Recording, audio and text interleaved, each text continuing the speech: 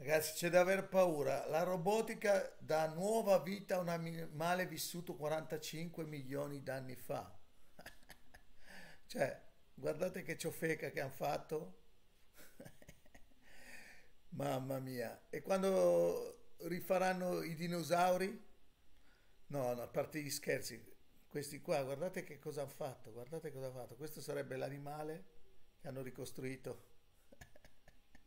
Sembra un pezzo di immondizia.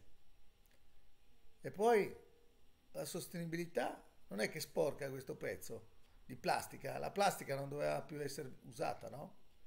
Oggi sono particolarmente incavolato.